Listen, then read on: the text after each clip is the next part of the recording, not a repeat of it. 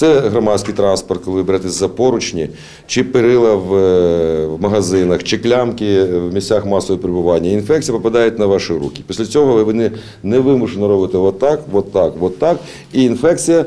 Осідає на ваших слозових, і ви вже інфіковані. Якщо ваш організм ослаблений, переохолоджений, ви захворієте.